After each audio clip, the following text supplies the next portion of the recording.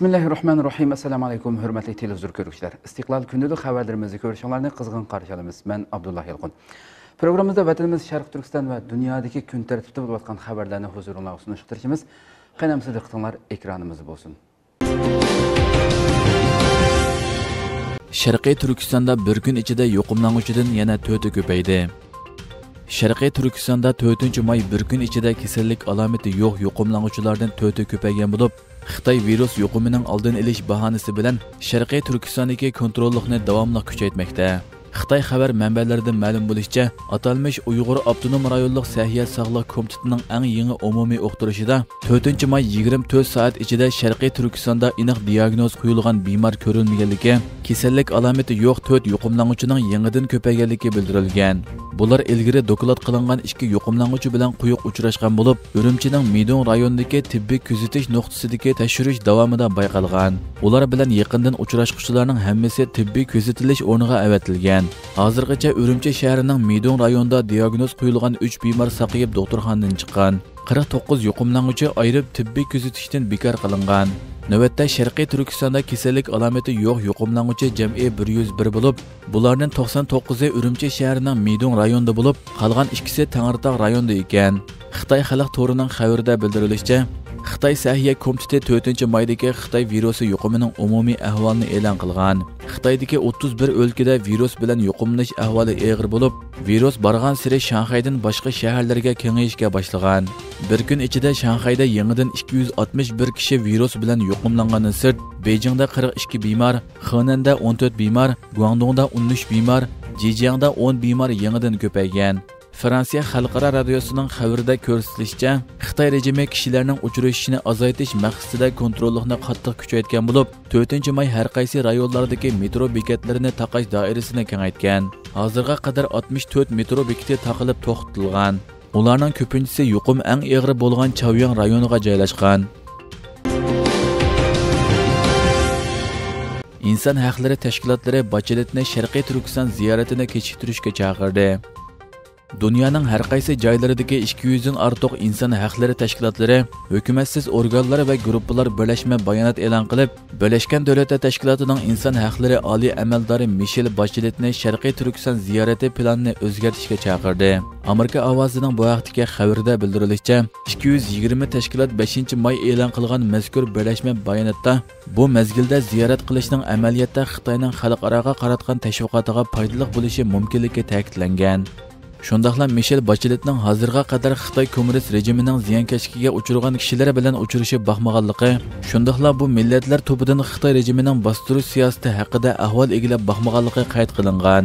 Shuning bilan birga Mishel Bacheletning bundan ilgari Uyg'ur, Tibet, Mo'ng'ullarning ichidagi shohidlarni bevosita ko'rishib, o'z ahvolini bildirish talabini rad qilganligi ilova qilingan. Bayonotda yana Xitoy rejimi Sharqiy Turkistonni cheklimisiz va haqiqiy ahamiyatga ega holda tekshirishga yo'l qo'ydiganligi haqida va'da berishdan burun Bacheletning bu qitimliq ziyoratni kechiktirishi kerakligi, bu shartlar kapolatga ega bo'lmay turib ziyorat davom qilgan taqdirda Bacheletning bu qitimliq ta'sir kelgan fursatni nobud qilib o'tadiganligi shundoqla xitoyga o'z jinoyatlarini axlaydigan yana bir ko'zir paydo qilib berganligi ta'kidlangan mishel bacheletning ishxonasi bo'lsa xitoyning nazorat qilinmaydigan cheklimiga uchirmaydigan ziyoratga qo'shilganligini bildirgan bo'lib xitoyning bu atalmish va'dasi qattiq gumon qo'zg'amoqda Shuning bilan birga Xitoymo hozirga qadar bu xitimliq ziyoratning tekshirish uchun emasligini, balki do'stona fikr almashtirish ekanligini qayta-qayta jar silib kelmoqda.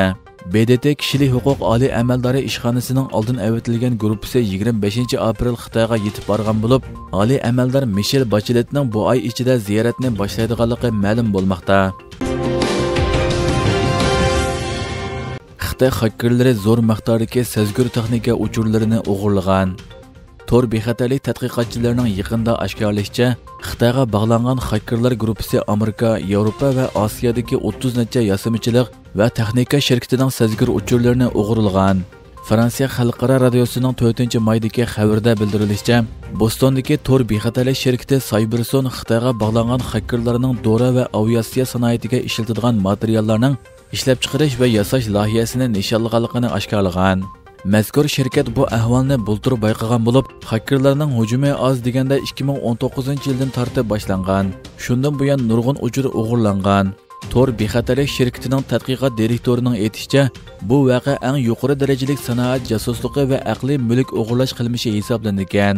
Amerika cbs kanalining xabarida qayd qilinishicha xitoyga chetishlik xakerlar guruhi apt 41 boshchiligidagi tor hujumi hozirga qadar yasimichilik energiya va dori sanoatini o'z ichiga olgan davlat halqigan 30 shirkatning necha trillion dollar qiymatidagi sezgir texnika uchurlarini o'g'irlagan. Shirkatning bosh ijroiya amaldori bu vaqtda to'xtalib biz kurashchi aeroplan tik uchar va boshqariladigan bomba yasash planini tuzayotgan bir paytda xitoy diabet kasali semizlik tushkunlikni davolaydigan dorilarning yasash texnikasi qatorliq aqliy mulklarni o'g'irladi degan.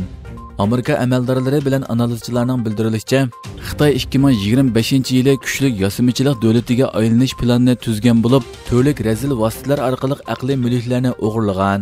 Munosabatlik yasash texnikalari xitoy hakkerlarining muhim nishoniga aylangan. Xitoyda bir bino o'rilib tushib nurg'un kishi o'ldi.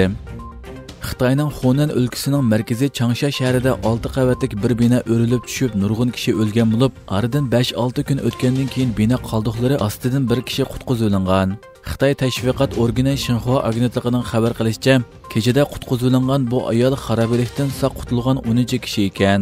Bino 29 aprelda o'rilib tushgan bo'lib qutqizish atrati xarabalik ostida qolgan 20 kishini qutqizishga uringan. Bino atrofida yashaydigan 39 kishidan bo'lsa taxicha hech qanday xabar yo'q ekan. Bino xarobaligidan hozirga qadar 10 kishi qutqizilingan va 5 kishining jasadi chiqarib olingan. Binoning o'rilib tushishiga mas'ul degan sabab bilan bino egisimi o'z ichiga olgan jam'i 9 kishi qo'lga ilingan va sudga yo'llangan. Rossiyaning diniy rahbarimi embargo tizimiga kirgizilmoqchi. Yevropa ittifoqi rossiyaning ukrainaga qilgan hujumini qo'llaganligini sabab ko'rsatib rus pravoslaviya cherkovining rahbari patrik kirilni embargo tizimiga kirgizishga tayyorlandi. G'arb taratqularda yevropa ittifoqining rossiyaga qarshi tayyorlagan 6 qitimliq embargo planiga patrik kirillningmi kirgizildiganligi to'g'risidagi uchurlar e'lon qilingan bo'lib yevropa ittifoqi tashqi munosabatlar komiteti tayyorlagan embargo mazmunida patrik kirill rossiyaning ukrainaga qilgan hujumlarni qo'llagan oldingi qatordagi kishilar qatorida ko'rsatilgan. Patrik kirill rossiya prezidenti putinning ukraina to'g'risidagi so'zlarini kuchlantirgan muhim shaxs deb qaralgan bo'lib o'tkazilgan diniy marosimlarda kirillning so'zlagan urushni qo'llaydigan nutqlari misol qilib ko'rsatilgan. Patrik kiril uzun yillardan buyon putinning muhim qo'llovchilarining biri deb qaralib kelgan edi. Bulardan sirt yevropa ittifoqining 6 qitimliq embargo planida rossiyadan neft import qilishni cheklash rossiyaning cho'ng banklarini svifet sistemasidan chiqarib o'tish ba'zi axborot organlarini cheklash qatorliq tadbirlarning borligi qayd qilinmoqda.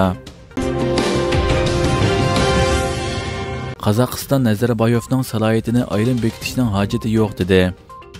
Qozog'iston doiralari asosiy qonunga tuzitish kirgizishda nursulton nazarboyevning qurg'uchi prezident salohiyatining ayrim bekitishiga hojat yo'qligini bildirdi Türkiyə Avaz Radiosunun xəbərində bildirilmişcə, Qazaxıstan Dövlət İşləri katibi Yerlan Karin Telegramma kanalında elan qılğan bayanatda Əsasî Qanun Kengişinin prezident Qasım Jomart Toqayevning Əsasî qanun islohotining hokimiyat beshidagi hukumatlar o'ttirsidagi munosabatning tamponliqini yanama yuksak saviyaga yetkazish xalqning hokimiyat ishlariga ishtirok qilishning doirasini kengaytirish va fuqarolarning asosiy qonunlik huquqini qo'g'dashni kuchaytirish maqsadida yurgizilganligini ta'kidlagan.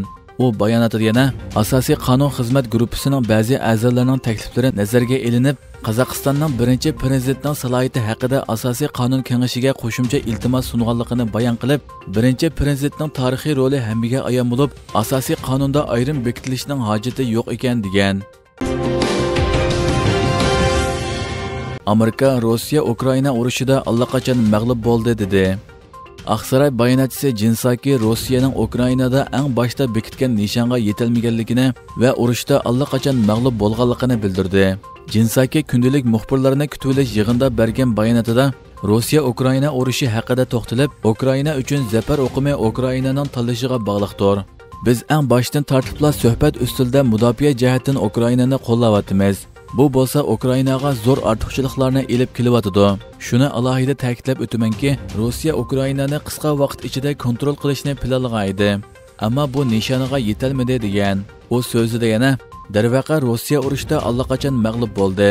Chunki Rossiya Ukrainani qo'lga kirgizolmadi. shu vajidan vladimir putin kiyev ko'chalarida erkin ozoda aylanolmaydi ruslar ukrainaning zimin butunligi va egli huquqini vayron qilolmaydi deganlarni ilova qilgan hurmatli televizor ko'ruvchilar shuna qilib bugungi xabarlarimiz mushu yerda oxirlashdi atigi xabarimizni ko'rishgacha sizlarni janobiy allohga topshiramiz shunaqa programma oxirida ekran orqasidagi barliq xizmatdoshlarimga ko'pdan ko'p rahmat aytaman assalomu alaykum va rahmatulloh